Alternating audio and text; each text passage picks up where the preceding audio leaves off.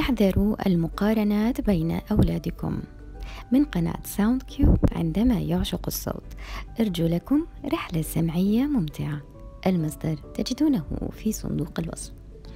احذروا المقارنة بين أطفالكم وذويهم. فهذا يؤدي إلى أن يعتقد الطفل أنه سيء أو أنه غير محبوب وأن أقرانه محبوبون أكثر منه. وقد تتولد لديه مشاعر الدونية ويصبح الطفل غاضبا وتتولد لديه مشاعر عدوانية. وأيضا إذا تعثر ابنك دراسيا إذا أخفق في مهمة ما إذا تغير سلوكه للأسوأ فعالج ذلك بالحب والتشجيع والثقة لا بالنقد والتوبيخ والإهانة. أرجو أن تكونوا قد استفدتم واستمتعتم بهذه الرحلة السمعية من قناة Sound Cube هدى كربوج. إذا أعجبكم شاركوا واشتركوا وادعمونا وتابعوا كل ما هو جديد لدينا.